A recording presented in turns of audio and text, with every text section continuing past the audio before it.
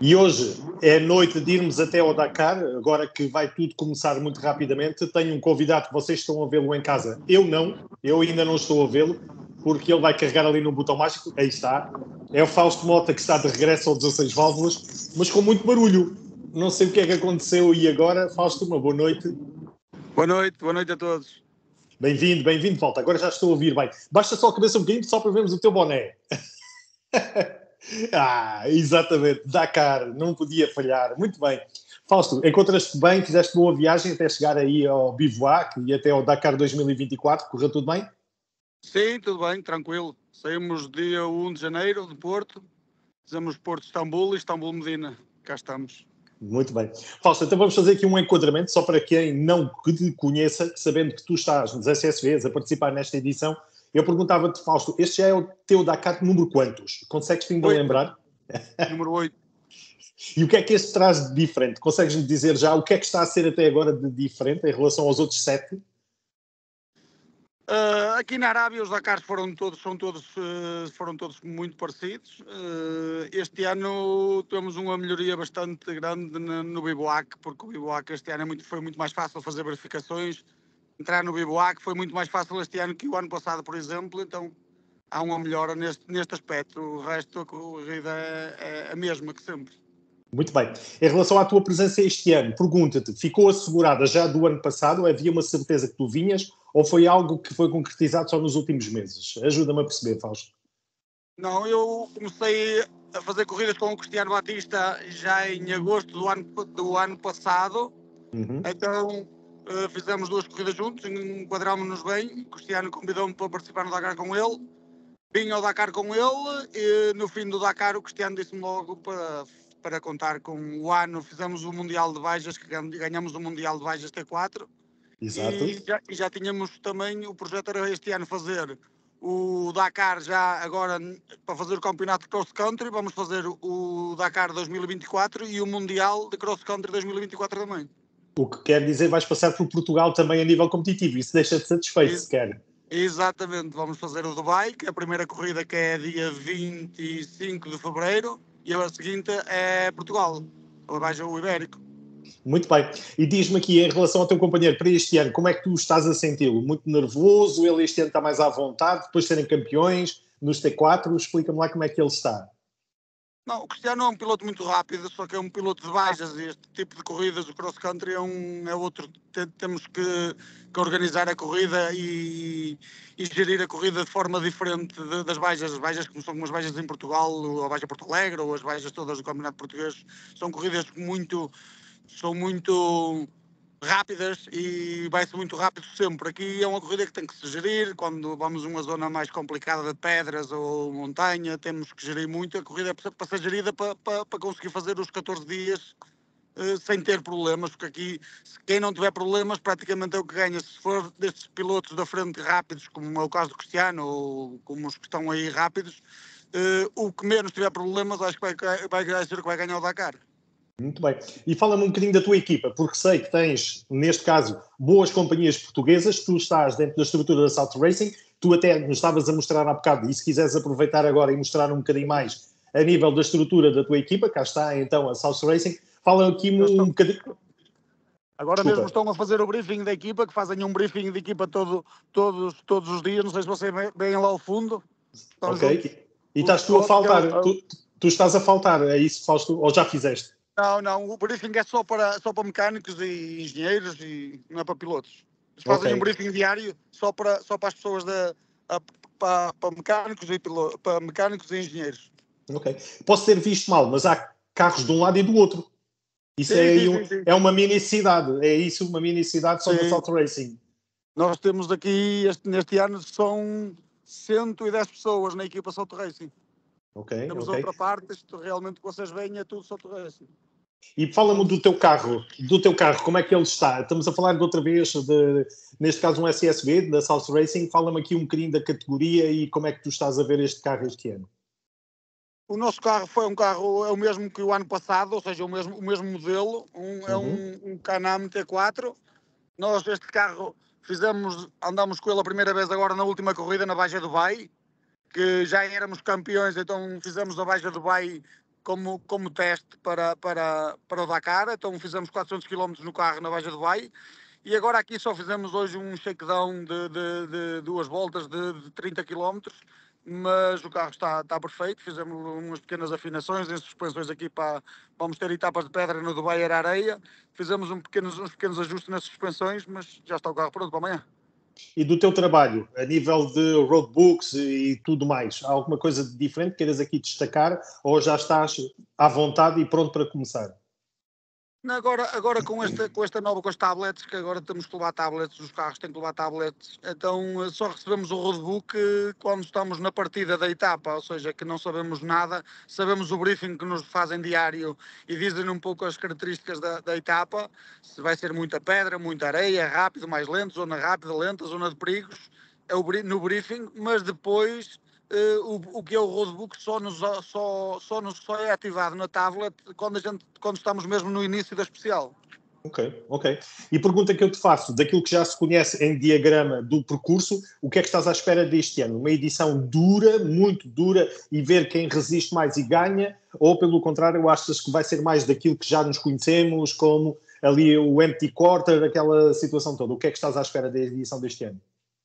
Eles fazem sempre, eles no início do Dakar dizem sempre que vai ser o Dakar mais difícil, que vai ser o Dakar mais complicado, mas uh, eu acho que vai ser como, como outros. No fim do Dakar é que vamos, vamos fazer a avaliação se foi realmente difícil ou se foi como todos. Uh, acho que a primeira parte, de, esta primeira semana vai, vai ser com bastante pedra, ou seja, vamos ter que ter muito cuidado com, com os furos e com o carro para não estragar o carro.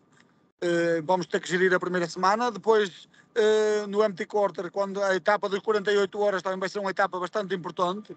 Uhum. Uh, e depois a, a, segunda semana vai ser já mais de areia, mais de dunas, e dizem que os últimos dois dias também voltamos aqui para esta zona onde estamos, que é o, o Dakar este ano acaba em Yambu, foi a uhum. zona que começou o ano passado e já soube aqui rumores no, no, acampamento que as etapas vão ser mais ou menos as mesmas, ao contrário, ou seja, muita pedra também as últimas duas.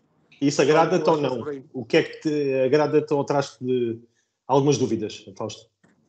Uh, a, a, pedra é, é, como eu digo, Gonçalo, é gerir, é preciso gerir muito a corrida para não furar. O ano passado furámos uh, três vezes, tivemos que parar, reparar, uh, e ficámos sem rodas, tivemos que reparar nas rodas, ou seja, isso é perde-se perde muito tempo. Então eu acho que o segredo vai estar aí. Vamos tentar fazer a corrida.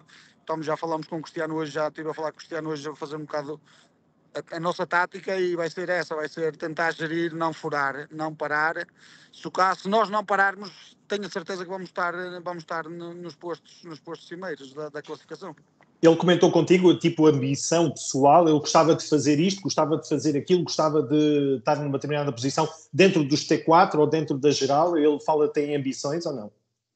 Ah, o, Cristiano, o Cristiano sabe, o Cristiano sabe é, somos, vice-campeões do mundo de Bajas, ou seja, o Cristiano sabe a, que rapidez ele tem, não tem esta experiência de rallies que, que, que é necessária para, para gerir a corrida, que a, esta corrida precisa de muita gestão, mas claro que ele tem dentro, dentro, o objetivo é ganhar o Dakar, sem dúvida nenhuma. Uhum. Muito bem. Em relação à curiosidade só dos outros portugueses, nomeadamente dos que estão com a tua equipa, já tiveste a ocasião de te encontrares com eles, com o João, o João Ferreira e naturalmente o Biga, mas também aqui o João Monteiro e também o Nuno Moraes, que são os que estão na sim. tua equipa contigo? Sim, sim, estamos todos juntos aqui, já almoçamos, jantamos juntos, está, é, é uma família de 110 pessoas, está tudo, tudo junto, todas as pessoas Uh, cada um a tratar da, da, sua corrida, mas, mas todos juntos, ou seja, é que estamos desde, desde as, as 24 horas juntos agora praticamente. e fora da equipa, os outros portugueses que aí estão, também já tiveste a ocasião de te encontrares ou isso há de ser depois para uma fotografia especial só do, do clã português? Ah, eu, por acaso, ainda há, um bocado fui procurar os motares, que bem das motas, tem um especial apreço para os motares, claro. já, já, tive, já tive um pouquinho, uh, agora ia ver do Buller, mas já está a dormir, o, o, o, o, Gonçalves ainda não ouvi, o Rui, mas. E o António Maio, não, o António. O Mário, o Mário já estive com ele duas vezes, o Mário está aqui mais perto de nós. Mas e o António é um Maio? tão grande que não é fácil, não é fácil, estamos, temos que fazer, temos que nos dedicar ao, ao, nosso trabalho, que é ter o nosso carro preparado e as nossas coisas todas preparadas, ou seja, realmente levantamos cedo de manhã e, e, o dia passa e é de noite e, e não, não, temos, não temos tempo para, para, para, para estar a, a perder, eh, claro. a procurar. Os portugueses todos somos muitos cá, felizmente a que horas começam as coisas amanhã? Na sexta-feira a que horas começa? Amanhã as motas vão começar às 7 da manhã, as primeiras motas, mas nós, como tem que ser as motas todas, tem que ser os carros todos, ou seja, amanhã é um dia, só são 27 km o prólogo, apesar de termos uma ligação de 130, mas o prólogo só são 27 km, eh, nós só vamos sair do acampamento, nós, no nosso caso, a nossa hora de saída é às 2 da tarde. Ah, ok. Muito bem. Então, oh, oh, Fausto, lançava-te o desafio e depois de agradecer mais uma vez a tua simpatia, partilhares connosco estas emoções em direto aí do Dakar, ia-te propor que mostrasse aqui uma panorâmica para terminar, uma panorâmica mais próxima ou da equipa ou da parte das motos que há pouco me mostraste, deixava-te a parte realizador para ti e dizeres o que, está, o que estamos a ver. Explica. Aqui, esta parte daqui são os, os verdadeiros motares, são os malmotores, são os pilotos de, de mota que não têm assistência, ou seja, têm que fazer tudo eles sozinhos. Estão okay. aqui 30 e pico motas, estão dentro desta parte que está vedada, completamente vedada, eles não podem nem sair, têm que dormir lá dentro não podem dormir fora do, da, da, da, zona deles, têm que dormir lá e têm que fazer assistência, têm que fazer tudo. E aqui mesmo em frente temos aqui a nossa equipa que é a South Racing. Então vou-lhe fazer aqui um, um. Ainda não estamos a ver, ok, agora sim, já estamos a ver, muito bem. E o teu carro, qual é? Podes mostrar o teu carro? Carro é, este, é este carro que está a sair, este carro que está a mexer agora mesmo. Ah, este agora, ok. Estava a ver ali a nível dos patrocínios, estava a ver aí também trans, faltava ver o resto do nome do lado dos teus apoios. É ah, Transmáquinas. Transmáquinas, a empresa, a empresa do Cristiano. Ok. Estão só a estacioná-lo, estão a chegá-lo para trás. Ok. Este, este, é o carro do João Monteiro. Estão a ver? Aham, uh -huh, ok. João Monteiro. Aqui o pessoal todo em modo de trabalhar. E ali temos mais carros. Falta aí um, falta um carro ou é a entrada no, precisamente na, na zona de assistência, aí desse lado, aí em frente. Falta um carro, são, ou estão a, estão a fazer, estão a fazer a meter gasolina, ou a lavar, ah. ou, a ou a rodar o carro, porque os, os, mecânicos todos os dias no fim, no fim da no fim da, do dia dão uma volta com um carro de 20 ou 30 km para comprovar que esteja tudo bem. Ah, ok, ok. E aqui deste lado ainda temos mais carros da South Racing. Estes são os Factory. Ali está o carro João Ferreira. João Aquele, Ferreira. esse aí ao fundo, é ao fundo. Ok, ok. Este que está coberto, acho que é o João Ferreira é do Baiuscas. Vamos ver aqui de fora. Assim temos o nosso repórter Fausto Mota a trazer a reportagem este é direta. Este, este, é o João Ferreira e do Filipe. Exato, Filipe Palmeiro. também a falar com a família dele. é português ou não? Porque há mecânicos Sim, também portugueses, não é? Mecânicos, os mecânicos é 80% dos mecânicos é, e pessoas é, da South Racing é, é Portugal. Isto aqui estamos em Portugal. Falamos, o idioma, o idioma o idioma principal aqui é o português. Um abraço a todos. Tanto mais que a sede da equipa, não é? Da South Racing é aqui em Portugal. Sim, sim, sim, sim. Eles têm a, central da equipa onde eles fabricam agora, fabricam os carros e, e fazem manutenção em, Lisboa. Fantástico, Fausto. Mando aqui, aqui através, através de ti, mando um abraço para todos os portugueses, obviamente, mas todos os elementos da equipa.